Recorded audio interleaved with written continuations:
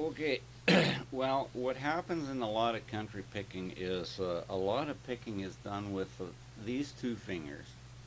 These two fingers here just going this way.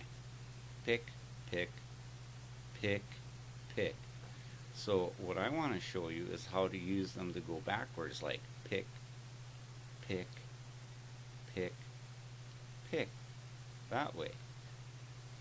Okay, this is from Canada, so I'm uh, I'm I'm wearing my beaver hat, and I just want to show you how to pick uh,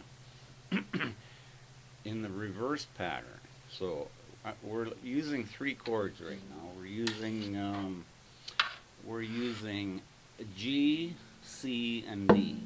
G, C, and D, which are very simple chords that anybody can pick up in about two weeks of playing guitar, right? So, I'll show you how the, now what you do,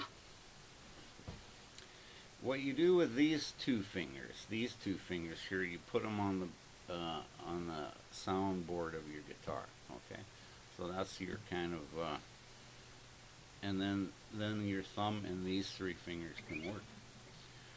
So, here's what we go. We start with the C, and I'll show you the back pick. I'll show you how these fingers work backwards, okay?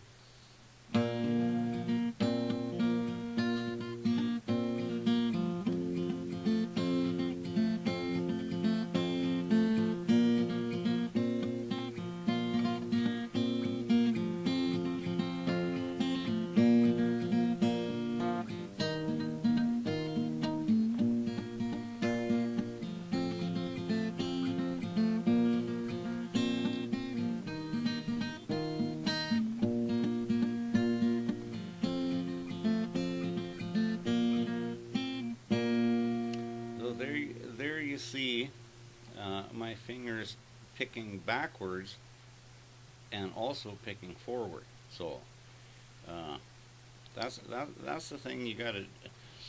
That's the thing you got. You put your two. You put your pinky and this finger on the board, and then you have a solid base to work from, right?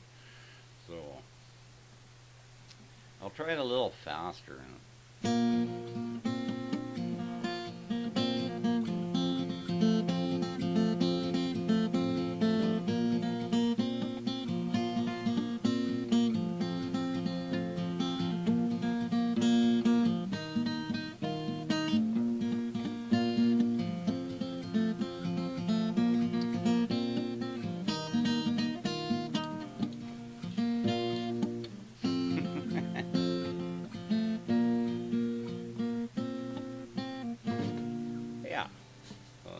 basically it. Um, you know, if I had a better recording studio, it would sound better, but that's basically how you play it.